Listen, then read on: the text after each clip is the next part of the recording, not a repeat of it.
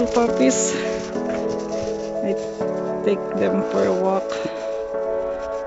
Um, it's not too cold, like it's only negative 5.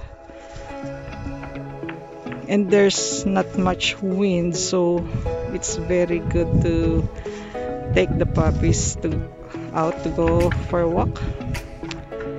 And yeah, this is what we have what weather we have here in Canada.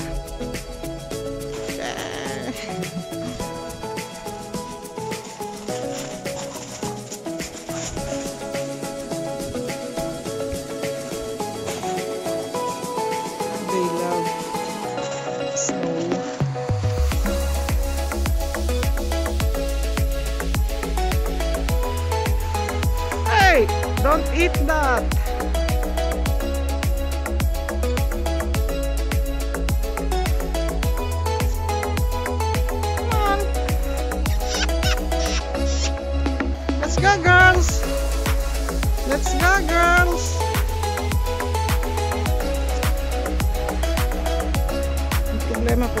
Sila sa akin, tapos habang malayo sila sa akin, kumakain sila. Yun. Hindi nila ako papansinin.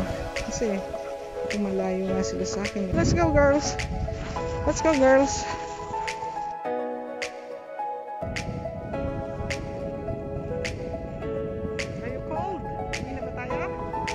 Ewan ko, baka sumasakit na rin paan ito. So, dito kami dadaan. Gagawa ako ng daan kasi, look, medyo malalim sa boots. So, kailangan kong ganun-ganunin. Kung hindi, lulubog yung boots ko. Oh, see? Oh, see? Ayun. Malalim. Okay, good. Good, good, good girls. Come on. Come on, girls.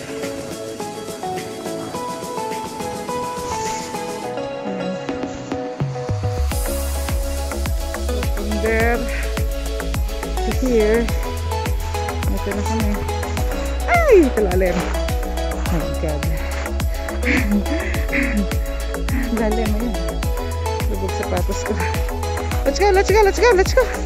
Baka malamig na yung mga paa nyo.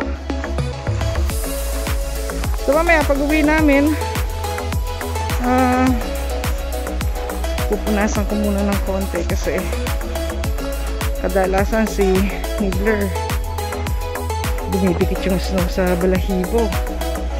Eh para hindi siya basa. Pupunasan ko muna, tatanggalin ko muna yung snow.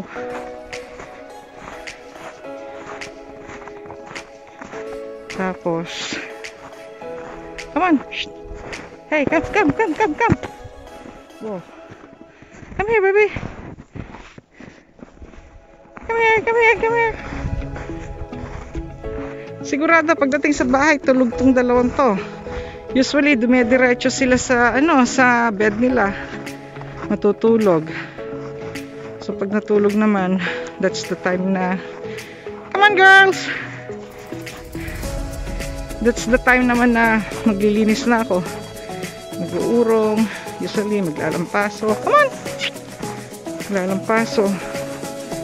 Para nun, habang nasa kulungan sila nakakapaglinis na ako. Hindi sila yung habang naglalampas ako eh takbo ng takbo sa floor. So usually lalagay ko sila sa crate. Pagka ganun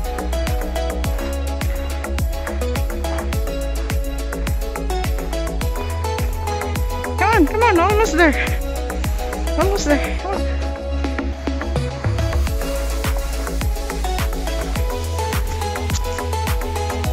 Tinali ko muna sila. Ito, nakatali na.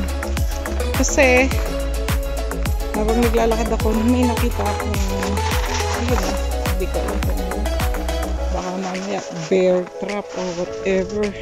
So, di ko alam kung ano yan, bear trap or whatever. So, kaya itinali ko muna yung dalawa. Curious din si Amari.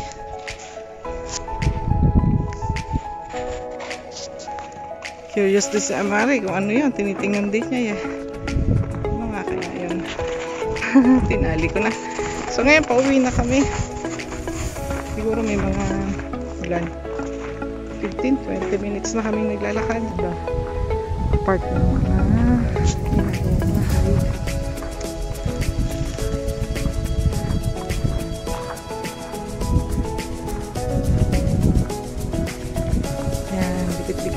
bahay, walang puno. Ah, dinidevelop ko lang kasi ito ng subdivision. So, usually naman yung developer, malapit na matapos yung bahay.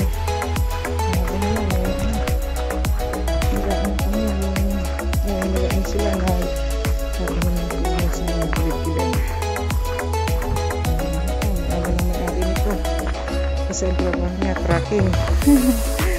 Usually, talagang maganda kita nila kapag may mga truck sila. Kaya lang, ang problema ngayon dahil sa COVID. Dahil sa COVID, eh, ayun. Hindi sila, kung ang biyahe nila yung US, hindi sila makakabiyahe sa US. Dahil sa COVID. O kaya sometimes yung opisina, nag-shutdown. Ito na kami.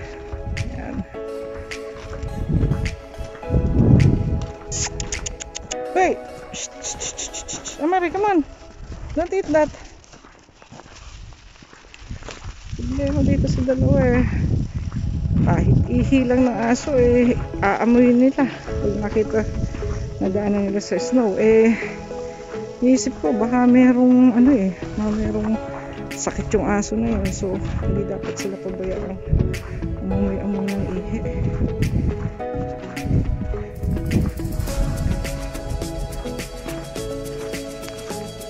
Ito ang mga bahay, oh. Malalaki bahay. Pero, kung ako papipiliin, uh, sa pangkaraniwan ko lang na mamamayan dito, eh, ano, yung malakas sa maintenance. Babayad ng kuryente, tubig, heater, furnace, gas furnace, yun, taas yun. Yung bahay namin noon, may maliit pa kaming bahay, binabayad ko lang tuwing winter time. Mga mataas na yung 210. Sabi ngayon, dito sa malaking bahay, bumabayad ako ng 410. So, almost 100% more nung nag-ano ko sa nakatira kami sa bahay maliit merong park doon na yun. Park ng mga bata. Yung park na yan eh minsan pumupunta kami dyan. So eto na. Uh, pauwi na kami sa bahay. Ito yung bahay namin. Ito yung dalawa. Oh let's go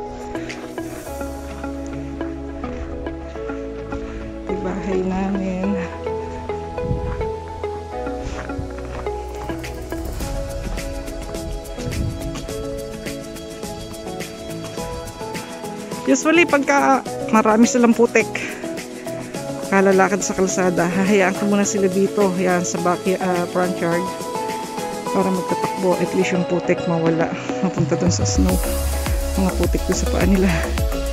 So. Pasok na tayo, let's go girls! Let's go girls!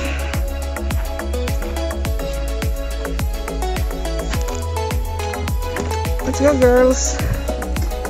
naman pagod yan. Buti mo lang. Maglakad tayo. Kung hindi, oh, close the door.